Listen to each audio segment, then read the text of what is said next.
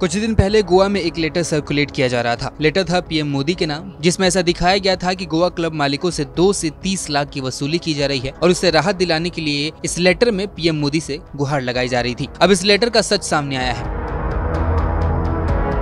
आपको बता दें कि गोवा क्राइम ब्रांच के पुलिस अधीक्षक एसपी निधिन वल्सन ने कहा है कि राज्य क्राइम ब्रांच की ओर से जाँच की गई है और जबरन वसूली की शिकायत फर्जी पाई गई है। एसपी ने कहा कि पूछताछ में यह पाया गया है कि शिकायत में हस्ताक्षर फर्जी थे और शिकायतकर्ताओं के नाम नहीं थे। इसे व्हाट्सएप के माध्यम से वियतनाम के नंबर से 16 मार्च को भेजा गया था।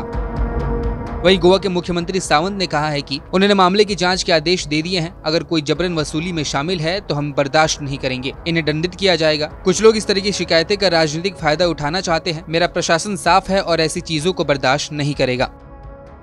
आपको बता दें कि जो लेटर सर्कुलेट किया जा रहा था, उसमें मुख्यमंत्री सावंत, तेंदुलकर और पाल्डोस्कर जो कि आपराधिक और खुख्यात गुंडे हैं, उनका ज़िक्र किया गया था और बताया गया था कि क्लब और रेस्टोरेंट्स के आकार को देख के मासिक राशि जो कि दो लाख से तीस लाख है, उतने रुपए की मांग की जा रही थी, उसकी वसूली की जा रही थी।